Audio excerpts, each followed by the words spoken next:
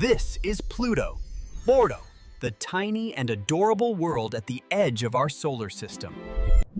Pluto is extremely far from the Sun. So far, it looks like a little star. It's freezing out there. Pluto is covered in ice and snow. Pluto is smaller than Earth's moon, one of the tiniest worlds we know. Pluto has a best friend, its moon Charon. They spin around each other like a dance. Pluto lives in the Kuiper Belt, a place full of icy rocks and tiny worlds.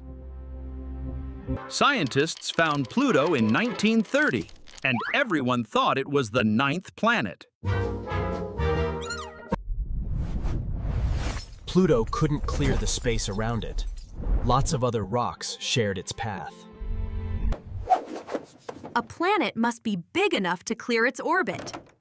Pluto is too small, so even as a dwarf planet, Pluto is amazing, full of secrets and icy beauty. It even has a giant heart-shaped area on its surface, a lovely surprise.